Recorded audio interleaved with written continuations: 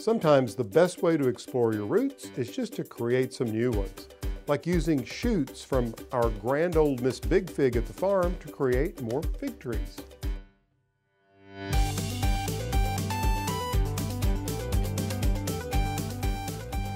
If you know me, you know I'm interested in conserving and preserving things. Well, take for instance this activity that I'm underway with today.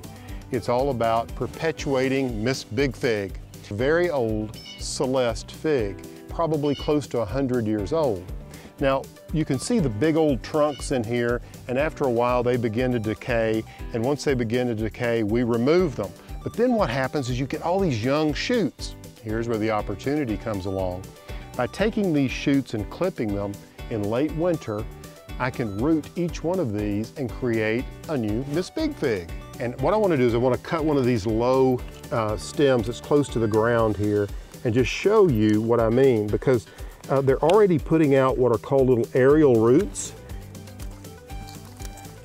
If you look closely here, you can see, look at those little roots coming out on the side. Now this was a stem that was very close to the ground. The potential for these roots lies all along the stem.